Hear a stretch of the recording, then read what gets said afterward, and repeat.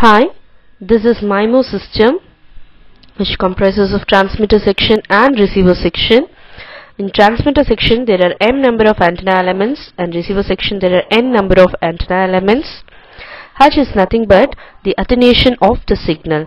H11 means the attenuation of the signal that transmitted from the antenna element 1 of the transmitter side to the antenna element 1 of the receiver side. By this we can say a MIMO system it can use multiple antennas at the transmitter and the receiver side by which it enables variety of signal paths. It enables variety of signal paths to carry the data.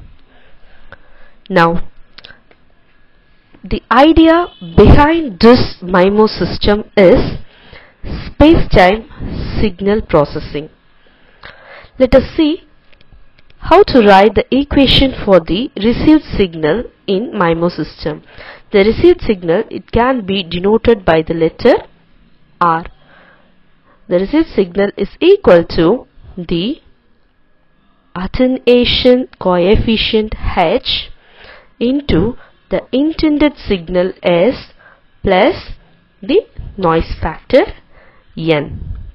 This is the equation for the received signal in MIMO system. Now let us see what are all the advantages in using MIMO system.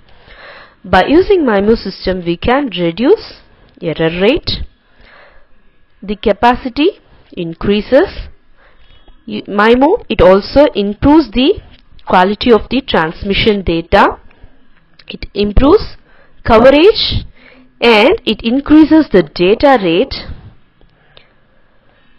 It also provide better estimation in positioning the user